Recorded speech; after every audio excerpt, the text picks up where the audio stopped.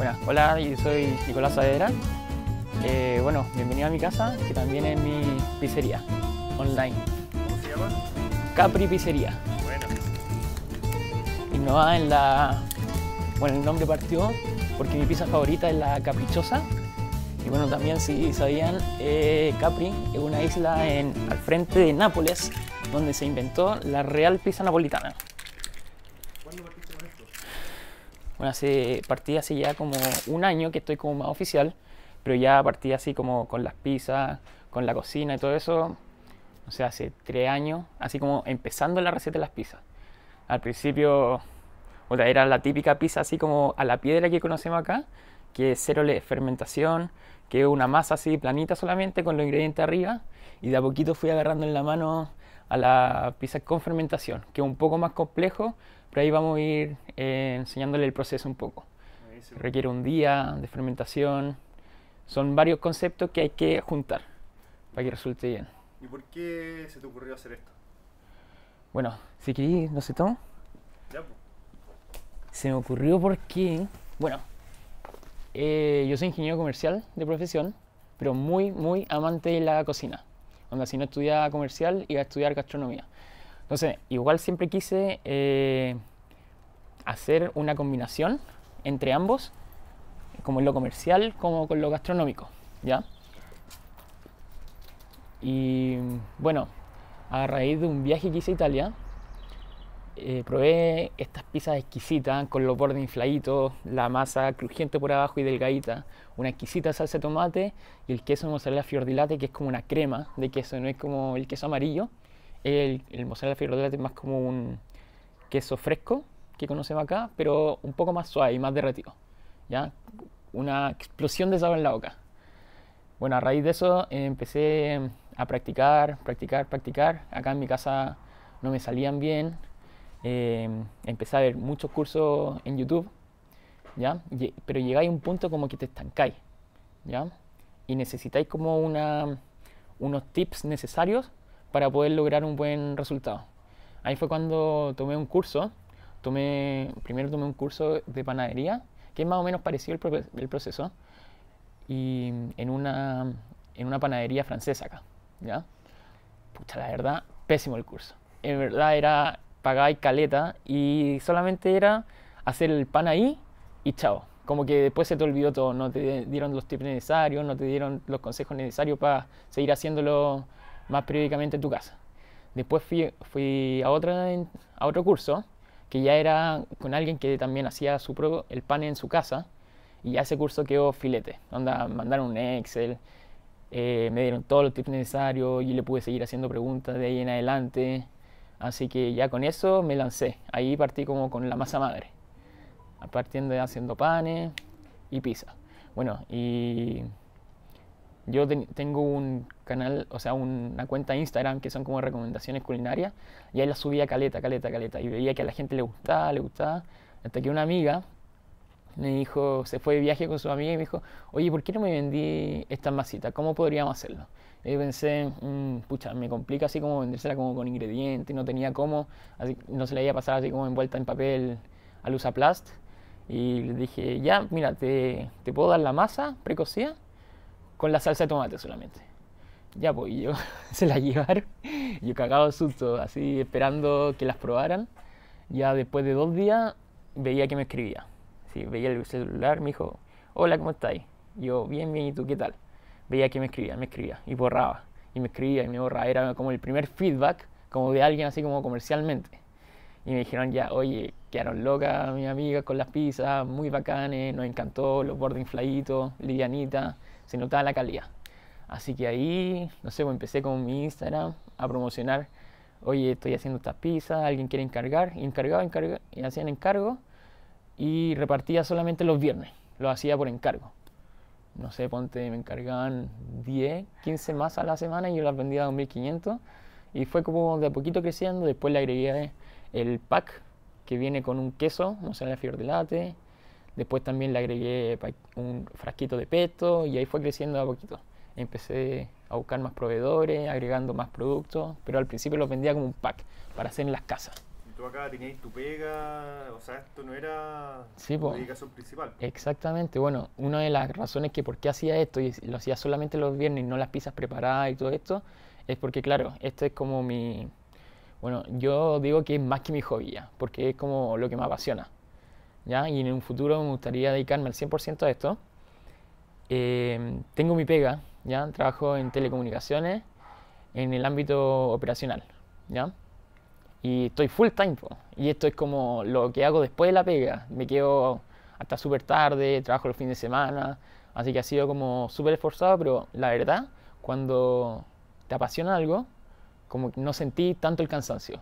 Lo hacía como con gusto, no lo hacía como tanto, no me gustaría decir obligación, pero eh, como por cumplir. Es que cuando te apasiona algo, lo hacía por gusto. Eso. Es como lo que te podría decir. Y nada, pues así que yo, partiendo acá en mi casa, me gustaría igual como enviar un mensaje de que en realidad no necesitáis así como tener la tremenda inversión para partir algo. Podéis partir en chiquitito con tus conocidos y te juro que de a poquito, si así bien la pega, eres constante y todo, de a poquito va a ir creciendo. Hoy en día ya estoy vendiendo las piezas preparadas, estoy vendiendo por canal mayorista, sigo con mi pega full time, pero tengo una gama de productos así súper grande, vendo distintos tipos de queso, congelado, vendo focachas, tengo 13 tipos distintos de pizza y las vendo al vacío, así que ha ido creciendo súper harto. Y bueno, algo que impulsó mucho esto también fue el tema de la, la pandemia, em, que la gente estaba en sus casas y quería hacer algo más que solamente pedir comida. ¿cachai? Mis pizzas, bueno, igual tenía que calentarla, es como un panorama. Yo también eh, se motivó mucha gente haciendo mis cursos, lo- los comencé a hacer online, porque antes lo hacía acá, en la terraza. Y, y eso, pues, lo que tuve que frenar, sí, a raíz de la pandemia son los eventos. ¿ya? Que yo llevo todas mis cosas, llevo dos mesas, manteles, platos, el horno, este de acá, que es súper portátil. Aunque no lo crean, ese horno llega a 500 grados. y las pizzas quedan listas en dos minutos. Em, bueno, llevo todo y la hacemos, llevamos la masa cruda y la hacemos ahí en el momento. Ahí hacemos un show, tiramos las pizzas para arriba, voy con ayudante y le servimos a la gente. ¿Cachai? Así Y que hoy, hoy día, ¿cu- ¿cuánto estáis vendiendo en, en- con las pizzas? Con las pizzas y con los eventos. sí, em, ponte que tengo como tres eventos a la semana, o sea, al, al, al mes, tres, cuatro eventos, eh, pero ya atiendo a empresas, les facturo. Y pizzas en promedio, mira, igual va variando, pero en promedio yo te diría que unas 200 pizzas al mes. ¿Ya? Y hago, tengo producción toda la semana como para, no, para, no- para mantenerla fresca igual. Y las focachas también ahora últimamente han ido aumentando la demanda. Esa es un poco más de trabajo porque me gusta entregarlas frescas, onda el mismo día hechas. Así que tengo que estar todos los días más o menos haciendo mezcla para hornearlas. Buenísimo. Pero eso, pues imagínate, de 10 pizzas que vendía 40, más o menos a la semana, y las vendía así como, las vendía en mi pega, a los conocidos, y ahora se disparó un poco la cosa. Tenemos más de 2.000 seguidores y no, en, en Instagram, si bien no es gigante, es, pucha, eh, ha sido como harto esfuerzo, como partiendo desde cero, sin pagar publicidad, solamente eh, las campañas como publicitarias que he hecho ha sido eh, enviarle a gente conocida como del rubro gastronómico. Mis pizzas, eh, me etiquetan, las prueban. Y les digo por favor, onda, di la verdad, onda, me da lo mismo que, que digáis que son malas y que no te gustan, pero te las mando igual. Y la verdad ha tenido súper buena recibida, súper bien. Y eso, concursos y el boca a boca, que es uno de los factores más importantes. Buenísimo. Y por ejemplo, con, con ese hornito, ¿partiste o partiste con el horno de la casa? Partí con un horno que ya está desechado, estaba en las últimas. Y imagínate, ya la 15 pizza, el horno, 15 pizza, el horno ya se enfriaba. Tenía que esperar como 5 minutos en que se haga una masa. Porque al abrir y cerrar el horno se perdía la temperatura, porque para la pizza necesitáis que esté muy, muy, muy caliente. Eh, partí con el horno en la casa, después de un tiempo eh, empecé a cachar, dije, oye, si me lanzo con, con eventos, ¿cómo irá a ir? Fue una apuesta. Así que me traje este horno de Europa, eh, se llama Onikoda, llega a 500 grados, se enchufa, es a gas, y me lo trajo un tío, ¿ya? Que justo venía desde allá y acá no vendían. Em, hace unos meses ya empezaron a llegar, una marca lo empezó a traer y se están volviendo súper populares. También hornos de ese mismo tamaño, a leña, mucha, mucha gente lo está comprando, así que se nota que ha habido a nivel cultural acá en Chile eh, un mejor aprendizaje por las pizzas, no solamente por el tema como, no, no, no solamente por las pizzas eh, gringas, americanas, que vendría siendo Papa John's, Domino's, todas estas cadenas que llegaron, bueno, cuando llegaron yo me acuerdo igual, fue como la sensación. No sé si tú te acordáis cuando llegaron, la primera fue que llegó Papa John's de la gringa. Bueno, y también estaba antes Pizza Pizza, Domino Pizza, que al principio la había traído un chileno. Era, era un chileno que copió la marca de Estados Unidos y ahora hace. Ese después se transformó en Pizza Pizza. Y Le después... quitaron la marca, de. Sí, sí. Fue una, buena, una gran historia. La cagó. Y después como llegó la gringa, por la real, la que está ahora. Y bueno, de a poco he- me he ido dan- dando cuenta y también por el número de pizzerías de este estilo que han estado abriendo, que la gente se está dando cuenta y está aprendiendo eh, de una buena pizza. Una pizza que no te va a dejar así como esa caña de comida al, al otro día cuando despertás y que te sentís pesado. Una pizza que vaya a saborear la salsa tomate, que no te vaya a enguatar solamente con masa y que va a tener un queso suave, rico, cremoso y no grasoso. Con los ingredientes justos, no sobrepasarlos de ingredientes. Cosa de que podáis saborear una buena pizza y no solamente enguatarte con esto. Oye, muéstrame dónde hacen las pizzas. Ya pues, vamos. Bueno, ahora tuve que agrandarme un poco por el tema de la cantidad de pizzas que estamos haciendo. Y tuve que dejar mi hornito, que me apañó, pero a todas. Imagínate, con ese horno, hacía toda la producción que estoy haciendo ahora mismo, la hacía con ese horno chiquitito. El problema que tenía era que se enfriaba muy rápido. Oye, y aquí está la reliquia, po. Ah. Con este horno partí. súper, súper simple. Llegaba solamente a 250 grados, si es que llegaba a los 250. Así que, pues, se puede partir con cosas chiquititas. Lo teníamos ahí de reliquia. Recuerdo. Y aquí está el Maximus. Así que este es como mi centro de elaboración. Tenemos el congelador, acá tenemos el lavadero. Bueno, acaba de llegar el queso, no llegó ahora en la mañana. El congelador, el gas, ¿Y cada que guardáis? las pizzas Ah, congeladas. guardáis las pizzas. Sí. Los pedidos, porque me gusta entregarla más congelada, porque siento que se conserva como más lo fresco. Bueno, acá François, ¿Eso es para, mm, para el envasado? sí, aquí eh, hago al vacío las pizzas. Al principio tenía, de- mira, te voy a contar un poco. Al principio compraba rollos, ¿ya? Y los tenía que eh, cortar, los tenía que sellar por un lado. Así que bueno, de a poco uno se va, va conociendo mejores proveedores y todo. Y ahora tengo, ponte estas bolsas, que ya vienen selladas por un lado. Así que meto la pizza y la sello por un lado y chao. No tengo que darme la lata de estar cortándolo, sellándolo por un lado, midiendo, etcétera. Ejemplo, ¿cómo fuiste encontrando esos proveedores, hablando con otras personas que hacían pizza, buscando Ni Google? siquiera, busquilla, busquilla, busquilla, buscando en Instagram, una muy buena herramienta, Google.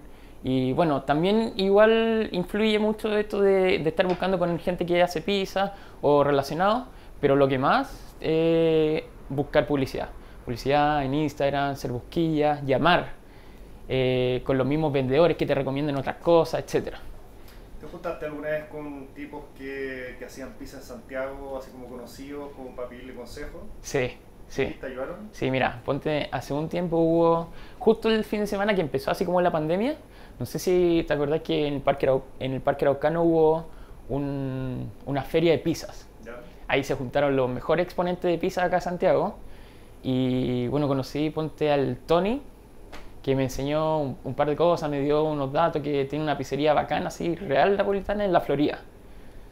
¿Ya? Y no, súper tela, en el ámbito como de las pizzas, como que, ponte, no existe mucho el tema como de la competencia porque todos quieren apuntar a lo mismo, a eliminar las pizzas americanas.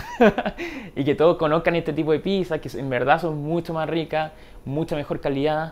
Si te das cuenta, yo uso solamente productos italianos, la salsa, desde la salsa de tomate, el queso lo hace un italiano acá, que mm, me lo trae el mismo día que lo hace. Onda, súper, súper fresco. Casi que dice mu.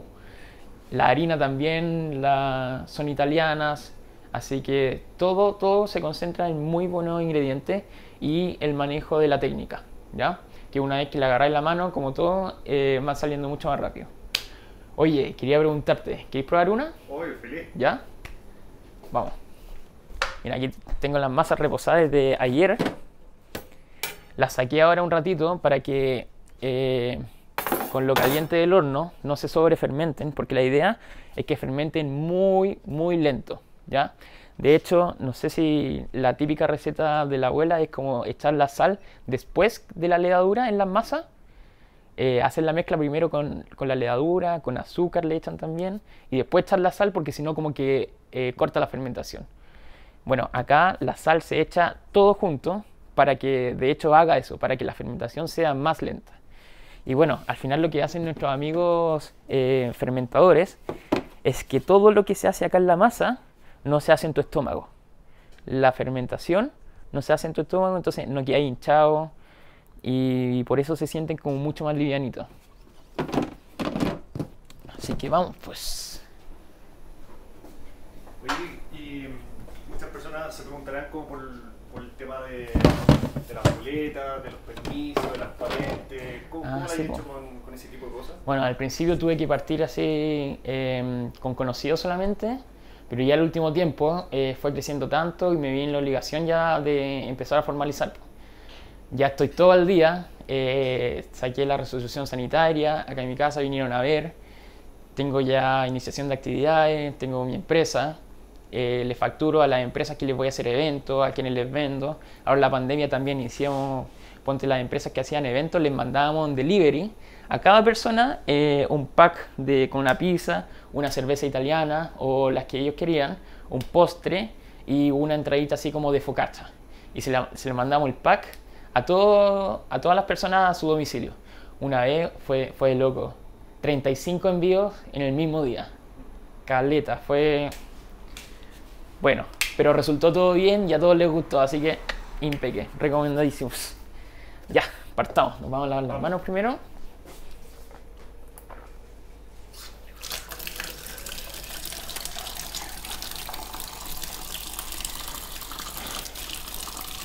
Para los que se preguntan que por qué no uso guantes, es muy complejo amasar con guantes. Y siempre, siempre, siempre se ha hecho, y en la historia, siempre se ha hecho con a mano.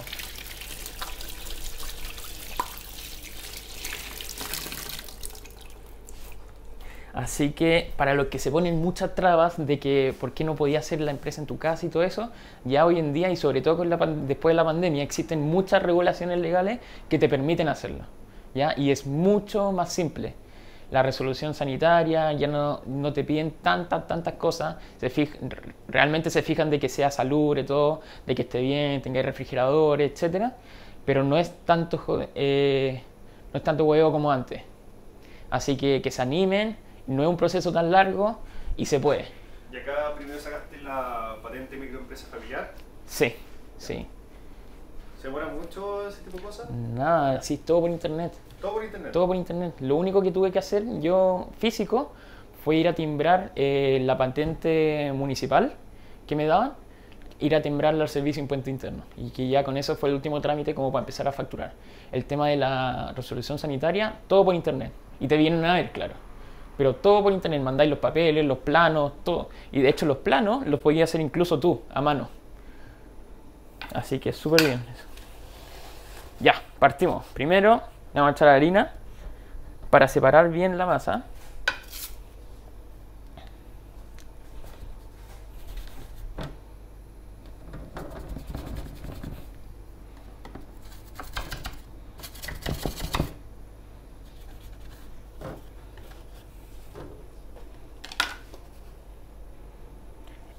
inhalarla bien ¿Nunca pensaste como en trabajar en una pizzería como para aprender un poco más desde adentro cómo funcionan? Escucha, me hubiese encantado, me hubiese encantado de verdad haber trabajado como garzón en un restaurante, pero la verdad nunca me di, se me dio el tiempo. Eh, debía haberlo hecho un par de meses quizás en, en algunas vacaciones mientras estaba en la U, pero terminé la U y me puse a trabajar al tiro. Así que eso pues, ha sido un aprendizaje en la práctica, pero creo que voy a poder lograrlo. Tiramos la masa. Y me estáis contando antes que tu sueño obviamente es abrir tu pizzería propia. Totalmente. Igual, igual quiero seguir agarrando experiencia profesional. Creo que es necesaria, pero esta cuestión igual ha estado creciendo. No me molesta para nada. Así que ya próximamente quiero, estoy buscando ya abrir un local. No hacer un local grande, un restaurante, nada. Pero para mantener ya alguien 24/7 que pueda estar tomando los pedidos, yo bien preocupado ahí y todo, pero sí tener algo como ya más establecido. Mira, yo no quito que se pueda tener el negocio en sus casas, pero sí tener, yo igual vivo acá con, con mi familia, entonces tener a alguien como anexo, igual como más complicado. Si ya quería agrandarte, creo que es el siguiente paso que tenéis que dar. ¿Y tenéis más o menos una fecha objetivo para eso? Marzo me gustaría ya estar como más o menos listo. Oye, eh, se me olvidó sacar los ingredientes. ¿Qué te gustaría? Eh, ¿Qué recomendarías? Puede ser pepperoni, puede ser jamón, eh, champiñones o margarita. Pepperoni. ¿Pepperoni? Sí. Ya. Clásica pepperoni. Dame un segundito. Ya. Tengo el. Ah, bueno. Bueno, aquí tengo los refrigeradores. Clásico pepperoni.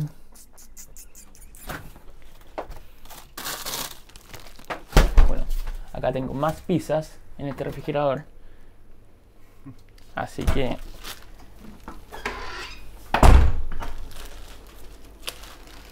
estos pepperoni ultra delgaditos son buenísimos.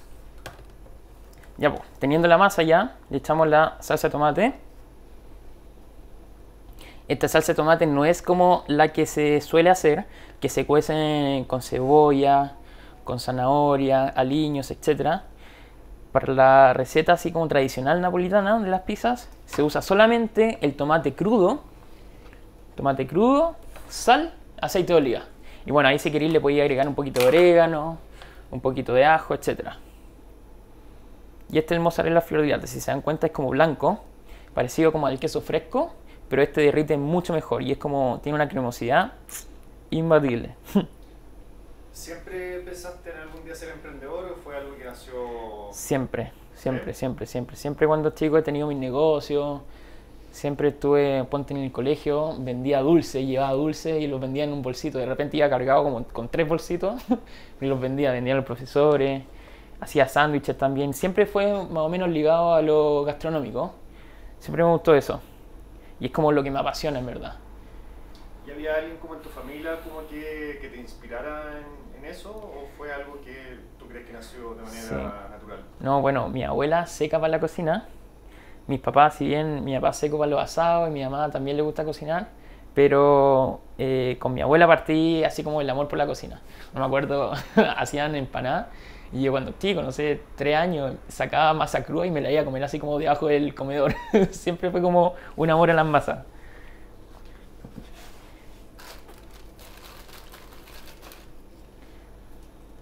Vamos a poner los peperonis. Y nada, pues ahí, ¿qué otra cosa me gusta mucho? Hacer feliz a la gente como con la comida. Ver que lo disfrutan. Ver que algo que hice yo, con dedicación y todo, lo están disfrutando. Y eso, más que como,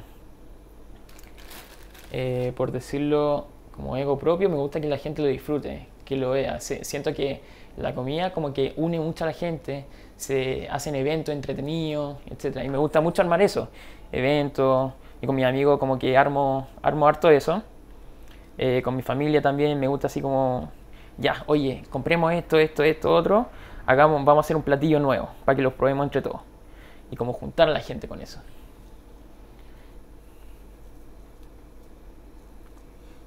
¿Cómo te vi en 10 años más con, Capri? Pisas lloviendo.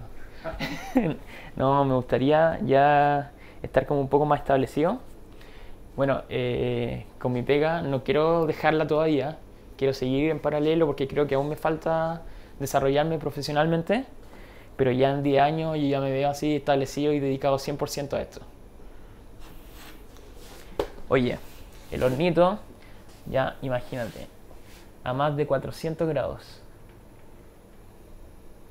Así que se va para adentro la primera pieza. ¿Tu familia comer harta pizza? Caleta, le encanta. ¿Sí? Sí, fanáticos. ¿Te lo exigen? Me lo exigen. Bueno, cada vez que prendemos horno siempre salen alguna que otra, pues, como para la familia. Mira, si te das cuenta, los bordecitos como que ya se empiezan a inflar. Sí. Súper rápido, ¿no? Mira, por todos lados. Lo que hay que hacer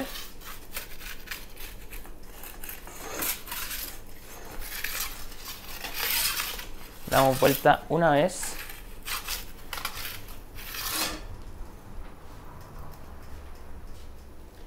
y también está ahí ¿te gusta probar otras pizzas de manera regular? total o, no mucho? sí, o sea, como de otras pizzerías ¿te refieres? sí Sí, sí. Creo que ya me la he probado todas las de este estilo. Eh, de las buenas en Santiago, Napoli, Domani, que son como los más conocidos. Pero también hay muchos emprendedores chiquititos que hacen de este tipo de pizza, que hacen unas combinaciones, pero buenísimas. Buenísimas. Así que aquí tenemos la pizza por François. ¿Y probarla? por supuesto. Mira, los italianos, los italianos dicen algo. ¿No? Puta, es buenísima. Es muy, muy distinto. Mira, los italianos dicen una cosa. Para lo, para lo único, comida, para la única comida que no hay que esperar que lleguen los demás platos es para la pizza, porque hay que comerla caliente.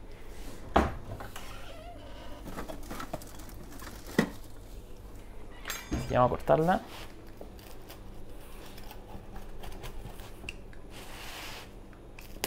Por ejemplo, esta pizza, ¿cuánto, ¿en cuánto la vendes tú?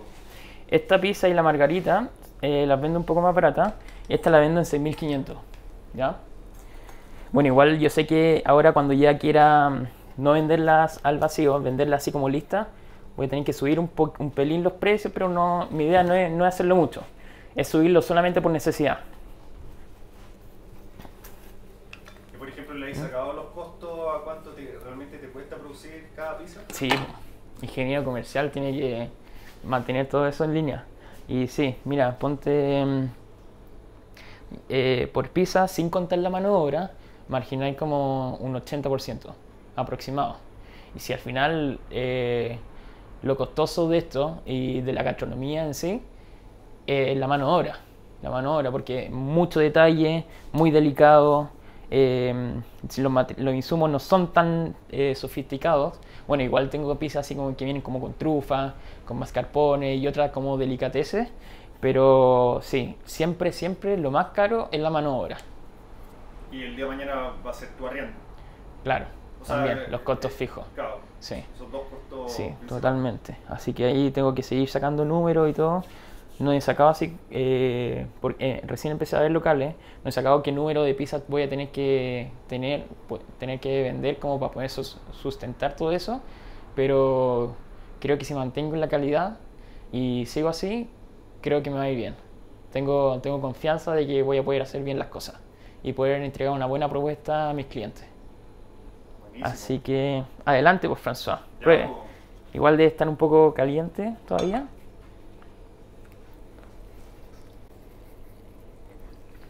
Mmm, buenísima. Buenísima. Buenísima. Mira que, como queda por abajo, tostadita. Ese se llama un buen trasero de la pizza. Así que adelante, bueno, como para finalizar ya, los dejo todos invitadísimos a que si de verdad quieren emprender, pueden partir desde chicos, muy chicos, desde sus casas. De verdad se puede. Necesitan, bueno, un, pseudo espacio y todo, pero de verdad puede ser la raíz de un negocio muy grande que pueden tener. Y nada, pues, ojalá les haya gustado la entrevista, mis productos, y los dejo invitadísimos a seguirnos en Instagram es pizzería Capri bajo, pizzería con 2Z o mi número 99879-8138. Hacemos, vendemos pizza, vendemos insumos para pizza, herramientas, palas, de todo para que puedas hacer la pizza en tu casa o comerla. También hacemos clases y eventos a que llegamos hasta tu propia casa. Así que muchas gracias. Espero que en la segunda entrevista ya podamos contar con el local.